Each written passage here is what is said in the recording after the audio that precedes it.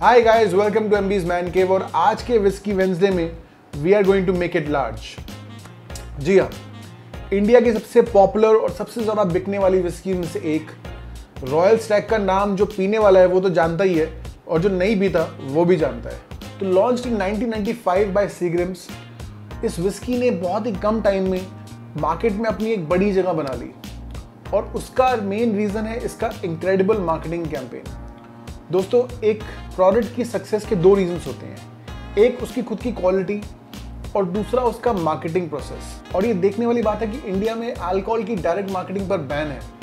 तो ये कंपनीज़ दूसरे तरीके अपनाती हैं अपने ब्रांड्स को प्रमोट करने के लिए।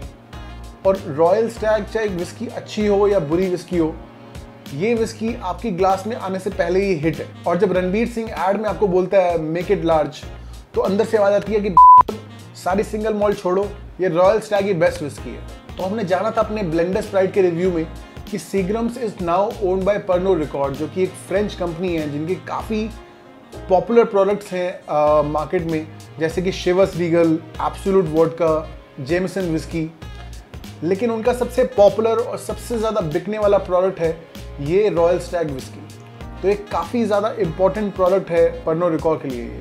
उसकी पैकेजिंग पर बना है cricket world cup world cup तो ख़त्म हो गया है अब और इंडिया हार गई है। मेरे ख्याल से हमारे गमों पे नमक छिड़कने के लिए अभी भी इस पैकेजिंग के अंदर विस्की को बेच रहे हैं। तो इसमें लिखा है fine blend of imported scotch malts and specially selected Indian grain spirits और तीसरी चीज़ जो इसमें लिखी नहीं है, जिससे ब्लेंड होकर विस्की बनी है, वो है मोलासिस अब ये कहना मुश्किल है कि कितने परसेंट मोलासिस यूज़ हुआ है इसमें और कितने परसेंट ग्रेन और मॉल्ट मेरा गेस होगा इसके प्राइस को देखते हुए कि अराउंड 80 परसेंट मोलासिस है और 10 टू 20 परसेंट इसमें मॉल्ट और ग्रेन यूज़ हुए हैं। दोस्तों, जब गन्ने को शुगर में कन्वर्ट किया जाता है तो एक लेफ़्ट ओवर प्रोडक्ट बचता है, जिसको हम कहते हैं मोलासिस अगर मैं कंपेयर करूँ इसे मॉल्ट और ग्रेन से तो उसकी कॉस्ट बिल्कुल ना के बराबर होती है।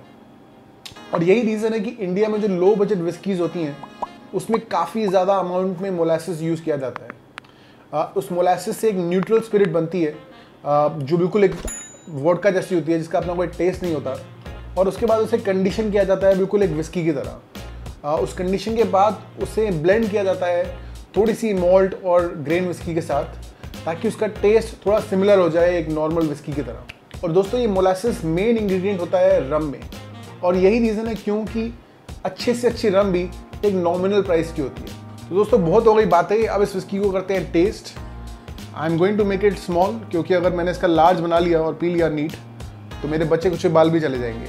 42.8 परसेंट की अल्कोहल स्ट्रेंथ के साथ आती है विस्की जो कि एक स्टैंडर्ड है ज़्यादातर इंडियन विस्की में, और इसका प्राइस है रुपीज़ फोर डेली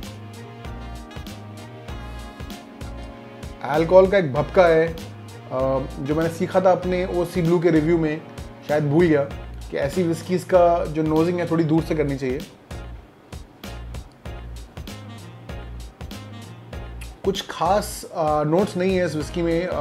हल्का हल्का वुड आ रहा है मुझे। कुछ मोलासिस फील कर सकता हूँ मैं। कुछ भी, कुछ ऐसा कुछ खास नोट नहीं है जो बिल्कुल बाहर आ रहा हो।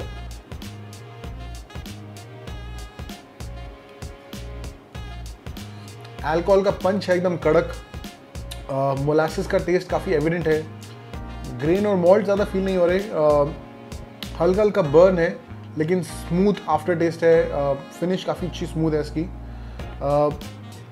कुछ ऐसा टेस्ट नहीं है जो कि बहुत ओवर पावरिंग हो। बिल्कुल न्यूट्रल विस्की है ये। आई थिंक मिक्सिंग के लिए अच्छी रहेगी अगर आप कोक के साथ पीते हैं अपनी विस्की या फिर उसकी कॉकटेल पसंद है आपको तो ये विस्की अच्छी रहेगी। चलिए स्कोर पर आते हैं। इस विस्की को टेस्ट में मैं दूँगा 5.4 आउट ऑफ़ 10 जो कि इतना बुरा नहीं है इस विस्की के लिए। एक बजट विस्की है। ऑब्वियसली इस विस्की को आप किसी अच्छी प्रीमियम स्कॉच विस्की से तो कंपेयर नहीं कर सकते। और वो इससे कम्पीट भी नहीं कर सकती।